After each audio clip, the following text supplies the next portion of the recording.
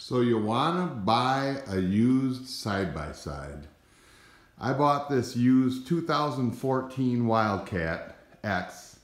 It's 1000cc, four-wheel drive, sport ATV, had a roof on it, and uh, looked a little bit rough, but I thought I was getting a pretty smoking deal on it.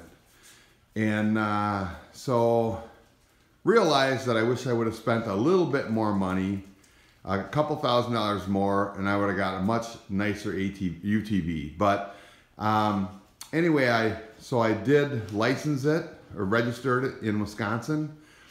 Um, so far, I put in, put two new tires on. One of the wheels was cracked, and uh, they had put sealant in it to try to stop it the slow leak. Well, that so that was pretty expensive. It had a roof on it. Um, so I'm trying to get it, right now I have all the shocks off of it getting rebuilt because they're kind of bagged out. I'm gonna have to put a new belt on it.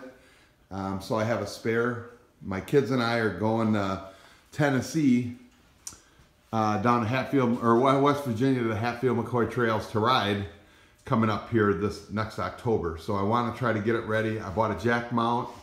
Also have up in here, I bought a nice belt mount. I don't know if you can see that very well for a spare belt. So I'm gonna put that in there. Um, vehicle's not in bad condition. It's just not been taken care of.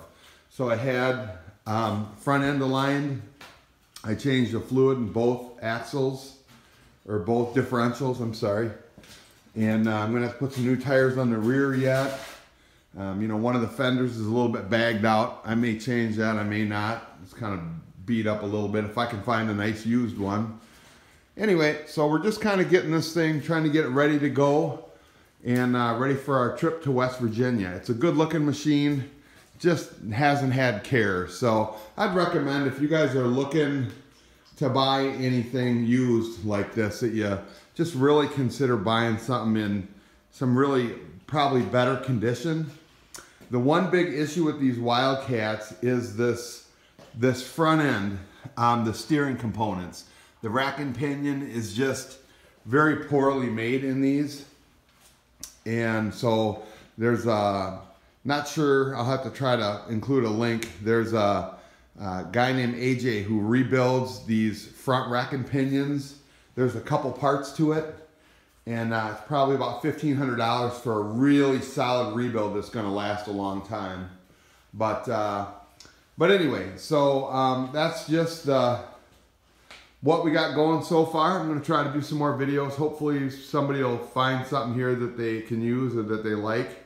Got my one of the old front tires. I'm, I'm having the old rim welded up for the spare so I can have a spare to take along. It's going to be a great, great journey to West Virginia. I just can't wait. We don't have a lot of money, so we're kind of doing it piece by piece, trying to get it all done this winter so it's ready to roll for this summer and spring. We ride a lot Black River Falls.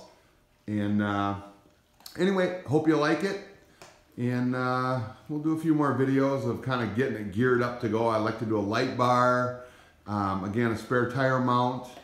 Just, I just want to get it mechanically sound so it's really a reliable uh, vehicle. I'm going to do a windshield and a back window, um, maybe some harnesses, don't know yet. But uh, anyway, so hope you enjoyed the video and uh, I would love to hear about any of your side-by-side projects. So thank you.